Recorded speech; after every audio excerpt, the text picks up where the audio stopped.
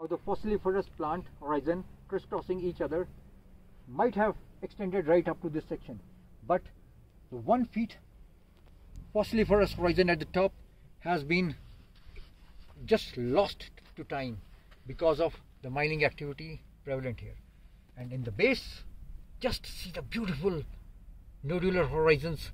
We get these nodular structures rounded semi-rounded small big different sizes but we don't know the chemical composition of it.